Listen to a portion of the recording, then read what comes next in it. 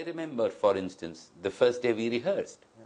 You, me, and uh, Bachchan rehearsed, and we were yet to. And this is probably the first time Mr. Amitabh Bachchan was on a set one week before shooting, rehearsing. Sanjay Dutt told me. He would say, "I need to talk to you, sir."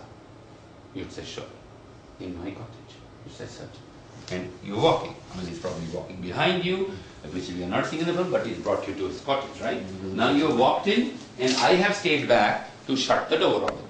And you rehearsed with him, and you panicked because of the, the diction. Yeah. And you told me, I'm leaving. Yeah, this is the first time. He said, You said, I'm going. Yeah. And I said, Go. Yeah. You left for a day. Yeah. What did you do those one or two days? I, I think I learnt it. As I think most people have the highest regard for Mr. Bachchan.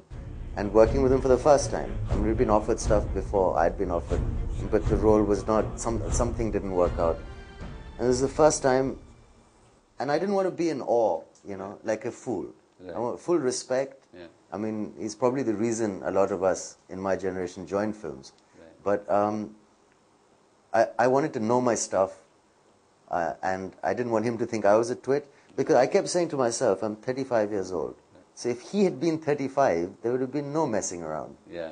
So I was like, I'm at my prime, Yeah. and I should be rocking this. Right, So I want to go back, sit there, learn this by heart, backwards, forwards, sideways. Right. I want to prepare. So if I'm going to set tomorrow with, with him, and if he says, which he did on, on day one, no, he helped me in one magical moment. Yeah.